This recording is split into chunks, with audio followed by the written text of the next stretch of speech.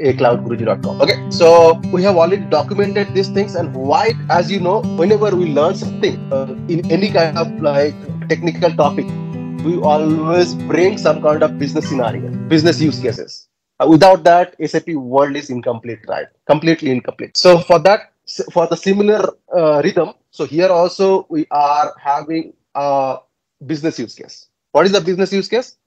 So this business use case is this. So we will be trying to actually automate our sales order creation process. What is that? In different companies, maybe uh, there are different different approval processes. We are taking this particular sales order approval process here. Maybe the same process can apply to business partner onboarding or something else as well. For, to simplify these things, we are using this sales order business process automation scenario. And for that, definitely we will be using our real S4 HANA backend system. So there actually we will be creating the sales order after the business process will be finishing in our BTP platform itself.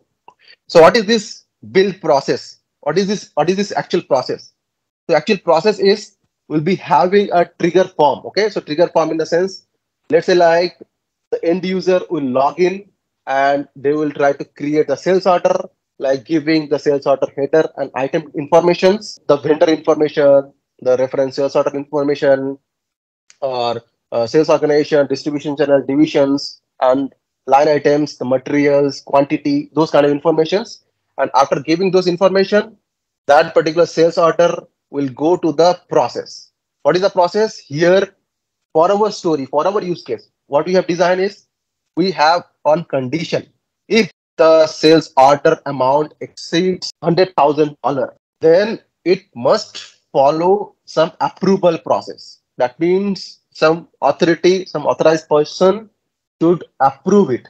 Otherwise, the sales order will not be processed for our customer. So for that purpose, we do have this condition. And then we do have the approval form. So whenever the condition will make, then the approver will get approval item in their inboxes, right? With all those informations like this is the sales order, this is the amount, this is that, this is that, right? And based on that, the approver can approve or reject. And also they can give the comment as well. And then what happened after approver reject, reject? Then we are going for action. What is the action?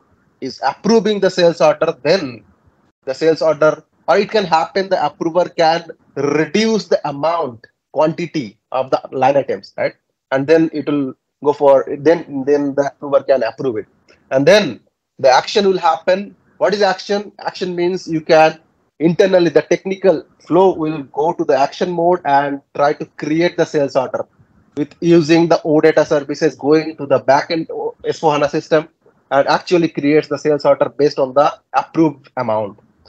And if everything goes well, then the end customer can get a email notification. So you can see here in this process, we do have three persona. The first persona is the end user creating the sales order from the trigger form. The second persona is the approver. Um, the approver can get the details and then approver reject in terms of this point number three approval form. And then we do have third persona is the customer who is actually getting the final notification that the sales order gets approved, gets approved or rejected or how what is the current situation uh, for the uh, for the sales order that customer actually placed at the beginning. So this is how it will work. Now the thing is like, okay, we need to go to the system now. Our option, I'll be using this option, distribution channel, this option, sold to this particular sold to party, copy, and net amount 100,000. 100,000 dot same thing I'm just giving. And what will happen now if I'll just click submit, it should also go to the approval process, right? Let's see. So the form submitted successfully. Now, if I go back to my, uh, so now uh, I'll be going to the monitoring section. So go to the monitor section and you can actually see the scenarios, how it got processed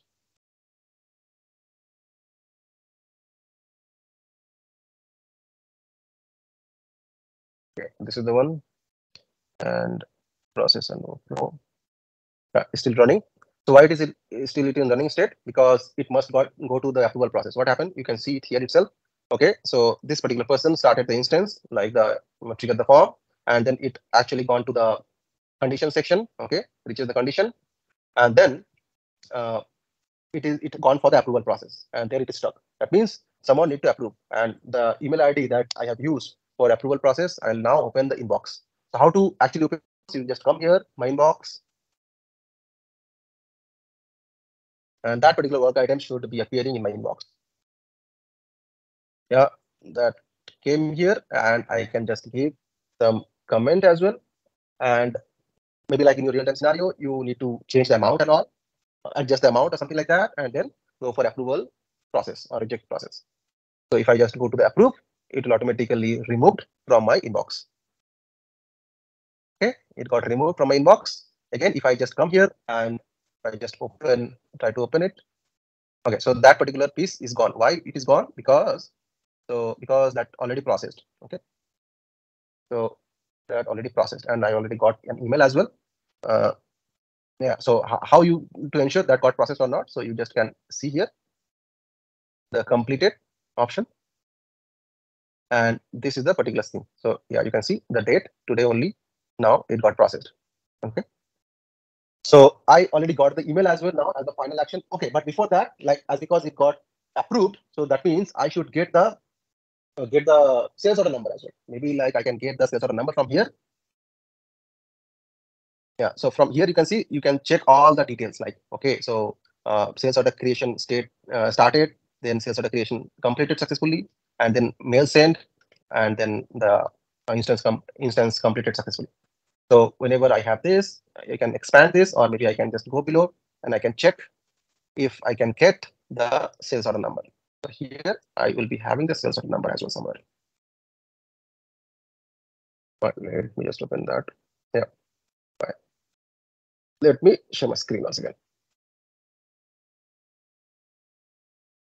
Okay, so you can see this particular sales order, I mean, this email got generated uh, two minutes ago. Okay, and this is the uh, subject line. Your sales order got created in SAP, and this is the body. So as simple as that. If I just copy this one and go to the backend system, go to the go to slash o VS03 and give this sales order. Yeah, this is the sales order. So as because I have not given any line item and all information, so it is not happening. But anyway, so the process got finished, and you can understand like how the process entirely happened starting from the trigger form, going to the condition, then going to the approval form, then going to the uh, action, and then going to the mail action. Now, the floor is open for any question answers.